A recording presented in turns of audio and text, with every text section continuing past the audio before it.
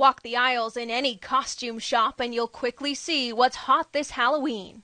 For kids, it's definitely the superheroes. For the men, it's a lot of the superhero and novelty costumes. And there are no shortage of superheroes out there. If you are looking for some costume help, why not ask Iron Man himself, or someone who looks like him, a lot like him. I've been getting this since I was a teenager, and uh, ever since I grew the goatee, it's been happening a lot more.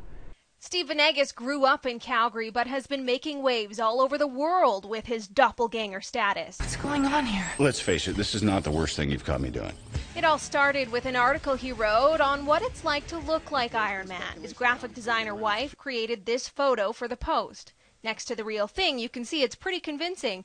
So convincing that not long after, websites started using Steve's picture instead of Robert Downey Jr.'s in their articles. It's dozens, maybe hundreds. Websites like Forbes.com and other places, movie websites. One spot that I really like is that it's on a um, wallpaper downloading website for your computer.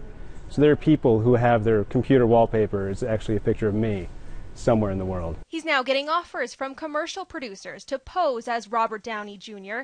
And Venegas says he feels like a celebrity at all those comic book conventions. He's even met Avengers creator Stan Lee.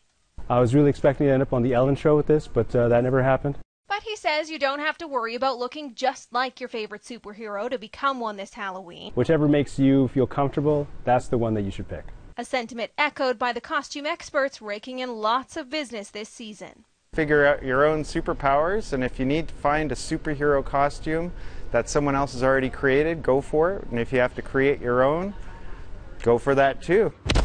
And if there was any doubt as to what Venegas is dressing up as this year, this Halloween, I'm probably going to be Iron Man. Dallas Flexhaug Global News.